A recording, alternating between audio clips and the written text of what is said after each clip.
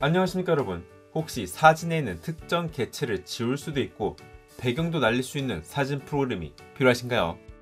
이번 무료 배포 소식은 그런 분들을 위한 소프트웨어 소식을 다룹니다. 이 프로그램을 이용하면 사진을 crop, 나누기 하는 것이 가능하며 배경을 지우는 것도 문제없어요. 또한 배경뿐만이 아니라 사진 속의 특정 object를 지우는 기능 등도 지원합니다. 이 소프트웨어 이름은 Photo Studio 10이며 예전에 소개해드렸던 PhotoClip Pro의 후속작이죠. Photo Studio 10은 프랑스 파리에 자리를 잡고 있는 inPixio라는 회사에서 개발, 판매 중인 프로그램입니다. 이 소프트웨어를 lifetime으로 구매하려면 정가 기준 5만 5천원이 넘게 필요해요. 하지만 지금 제 영상을 따라오시면 무료이니 집중해주세요. 아래 영상 설명란의 링크를 클릭하시면 Photo Studio 10 라이센스 발급 페이지로 이동됩니다. 제2 외국어로 뭐라 뭐라 써있기는 한데 그냥 저처럼 위에서부터 이메일, 이메일, 성, 이름, 국가 선택을 해주시면 되며 첫 번째 체크란에 체크를 해주시고 private와 utility를 선택해 주시면 됩니다. 그리고는 하열 모식이라고 적혀있는 버튼을 눌러주시면 돼요. 이러면 다음과 같이 라이센스 인증 코드가 이메일로 발송되었다는 메시지가 뜹니다. 이제 여러분의 이메일 수신함을 확인해 보시면 Ihr inPixio Photo Studio 10으로 시작하는 메일이 와 있어요.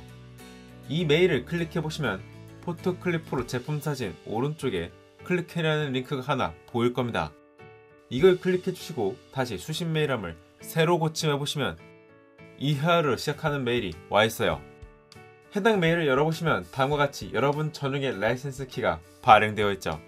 이제 아래 영상 설명란의 두 번째 링크를 클릭해서 inPixio Photo Studio 10 설치 파일을 받아줍니다.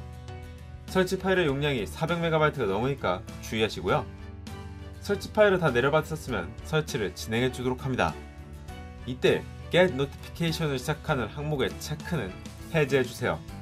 그리고 밑에 있는 세팅 항목을 눌러서 Agree to Participate in Custom 항목의 체크를 해제해 줍니다. 이건 사용자의 사용 정보를 수집하여 프로그램 개선을 하는 것에 동의하는지를 묻는 것이기 때문이죠.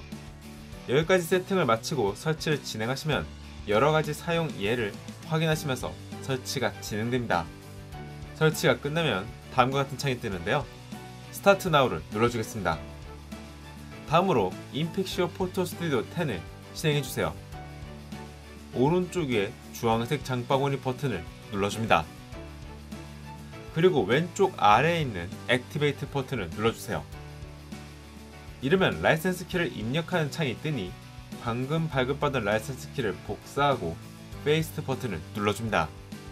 그럼 자동으로 라이센스 인증이 마무리되고 여러분은 inPixio Photo Studio 10의 영구적 사용 권한을 획득하게 되어 inPixio Photo Studio 10은 영구적 사용이 가능한 lifetime 라이센스 형식으로 배포됩니다.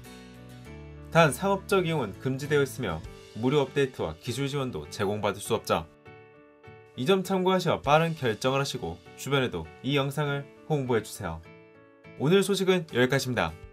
큐브팀의 소식은 여러분의 시청과 구독 그리고 좋아요와 홍보를 통해 만들어집니다.